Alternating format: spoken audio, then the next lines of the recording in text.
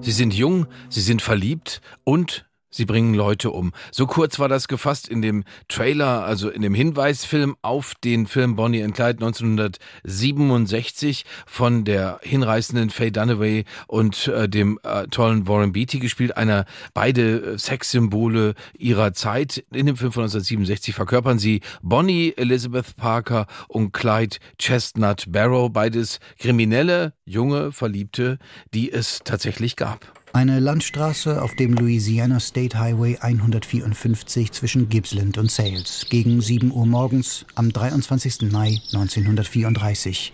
Ein Mittwoch. Windstille. 20 Grad im Schatten. Fünf Polizisten unter der Leitung von Texas Ranger Frank Hamer hocken neben der Straße im Gebüsch, schwer bewaffnet mit Maschinengewehren, Schrotflinten und Pistolen. Seit fast zwei Tagen sitzen sie hier zwischen den Bäumen. Es herrscht Langeweile und die Männer werden maulig, wollen die ganze Aktion abbrechen. Aber Frank Hamer hat seine Hausaufgaben gemacht. Das Paar, auf dessen Jagd er geschickt wurde, wird hier vorbeikommen. Es ist nur eine Frage der Zeit. Hamers Befehle sind unmissverständlich. Clyde Barrow und Bonnie Parker sind aufzuspüren und sofort zu erschießen.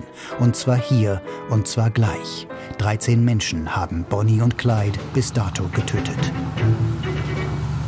9.15 Uhr Ortszeit. Am Horizont erscheint ein sandgrauer Ford V8 Deluxe Sedan. Das ist der Moment, auf den die Texas Rangers gewartet haben.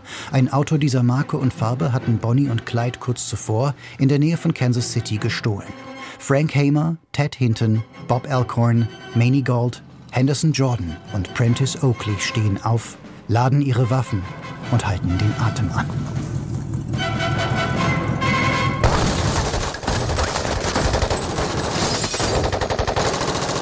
Es existieren verschiedene Berichte darüber, wie Bonnie und Clyde sterben.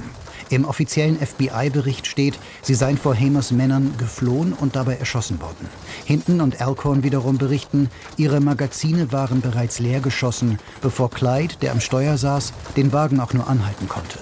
Belegt ist, dass Deputy Sheriff Prentice Oakley von der örtlichen Polizei den ersten Schuss abgab, ohne auf Hamers Befehl zu warten.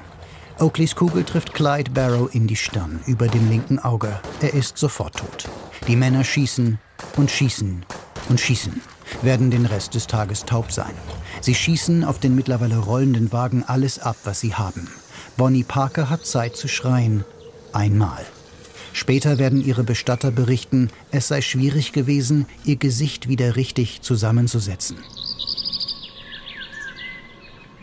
An Ort und Stelle wird das erste Beweisfoto geschossen. Ein sandgrauer Ford Sedan zerbeult am Straßenrand, die Türen aufgerissen, die Reifen platt und schräg. Eine junge Frau liegt, blutüberströmt, die Arme in einem unnatürlichen Winkel hochgezogen, auf dem Beifahrersitz. Ihr Kopf, was davon übrig ist, liegt auf der Schulter des Fahrers, der im Schatten der Fotografie verschwindet.